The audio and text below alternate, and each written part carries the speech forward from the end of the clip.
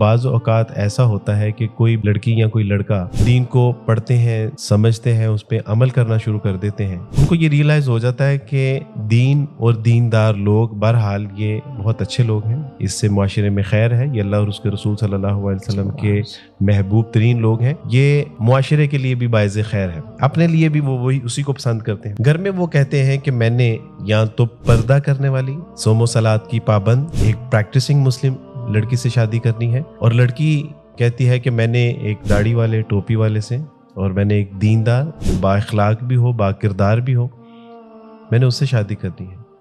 लेकिन उसको ये ताना दिया जाता है, ये टॉन्ट किया जाता है कि अब एक मौलवी से शादी करोगे तो। यानी ना उसने बैंक के साथ कारोबार करना है, ना उसने सूद का लेन देन करना है, ना उसने जो है वो गेट टुगेदर करना है मिक्स पार्टी के अंदर ना वो म्यूज़िक ना वो गाने, यानी ज़िंदगी की जिसको हम सारी रौनकें समझते हैं, जिसको सक्सेस समझते हैं, उससे महरूम कर तो एक, उसको एक जुमले में कहा जाता है कि मौलवी से शादी करके सारी ज़िंदगी जो है वो अपना, यानी फ्यूचर तबाह करना चाहती है।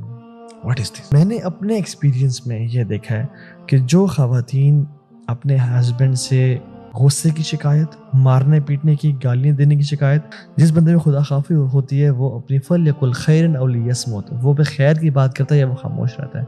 जिसे खुदा खौफी है ना वही अपनी बीवी की इज़्ज़त करता है और अपनी बीवी को रिस्क हलाल कमा के देता है और उसको मारता पीटता नहीं है क्योंकि उसको पता है कि अलमुस्लिम मुसलमान वो इसके ज़बान और हाथ से पाक हो। जो फीलिंग ऑफ़ गॉड है ना बेसिकली जो तकवा जिसे मुझे मौलवी भी बोलते हैं।